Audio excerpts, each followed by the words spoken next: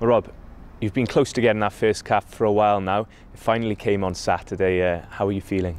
Uh, yeah, I was um, a little bit nervous. Uh, well, all all day really, um, but uh, Gethin uh, was struggling in the first ten minutes, so um, yeah, uh, got told to warm up, get ready and stuff, so the nerves started kicking in, but.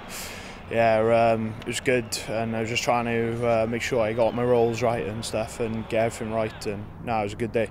So I mean, what a game to get your first cap in that second half. Um, what a performance! Yeah, the boys. Uh, to be fair, they were they uh, they all dug in for each other, and that was awesome performance. And the, some of the defence that was going in was yeah, it was it was it was up there. So um, yeah, it was a great game to be involved in, and it was awesome.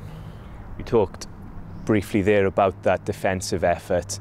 Um, just what is it like to be a part of something like that in the cauldron that is the Millennium Stadium? Yeah, um, I think it just, uh, well, like, it just happens uh, and well, you're blowing like, so you just want it to end. But nah, it was um, it was good. And uh, when when we uh, finally got that final penalty after the, I don't know how many phases phases it was, but uh, it was massive. Like uh, the crowd just picked everyone up, and the boys were picking each other up, and uh, was, there's no feeling like it really.